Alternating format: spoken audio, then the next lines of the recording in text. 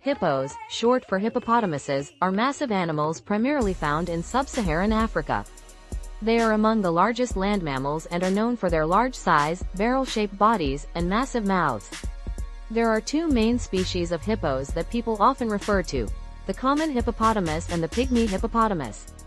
The common hippopotamus, or Hippopotamus amphibius, is the more well-known species. These hippos can weigh as much as 4,000 to 8,000 pounds. They have a large, sloping back and short legs, giving them a distinctive appearance. Common hippos are primarily found in rivers and lakes, where they spend most of their time submerged in water to keep cool under the hot African sun. This behavior is crucial as their skin, although thick, is sensitive to sunlight. Their natural habitat includes rivers, lakes, and wetlands, making them excellent swimmers. Common hippos are social animals and typically live in groups called pods or bloats. These groups usually consist of around 10 to 30 individuals but can be bigger in some cases. The pods are made up of females, their young, and a dominant male. The males often engage in displays of strength to establish dominance and maintain their status within the group. Hippos are herbivores, feeding primarily on grass, and they often graze at night when it's cooler. On the other hand, the pygmy hippopotamus, or Choeropsis liberiensis, is much smaller and less known. These hippos are found primarily in the forests and swamps of West Africa, particularly in Liberia, Guinea, and neighboring countries.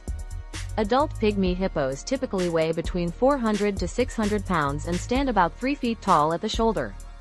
Their body shape is also different from the common hippo, being more compact and agile in the underbrush. Unlike their larger relatives, pygmy hippos are not as social. They tend to be more solitary or live in small family groups.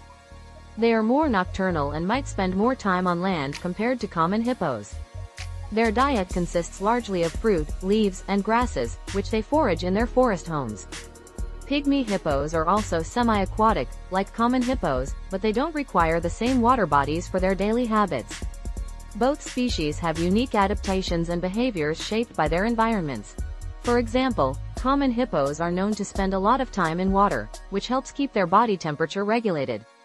They also have a special way of closing their nostrils as they submerge, allowing them to stay underwater for several minutes at a time. Pygmy hippos, meanwhile, have adapted to life in the dense forests and are more elusive, making them harder to spot. Despite their impressive size and fascinating characteristics, both types of hippos face threats. Common hippos are vulnerable due to habitat loss and poaching for their meat and ivory-like teeth. Pygmy hippos are classified as endangered, with their numbers declining due to habitat destruction, hunting, and human-wildlife conflict. Conservation efforts are underway to protect these magnificent creatures and their habitats. Protecting natural environments is crucial not just for hippos but also for the broader ecosystem that relies on healthy, diverse habitats.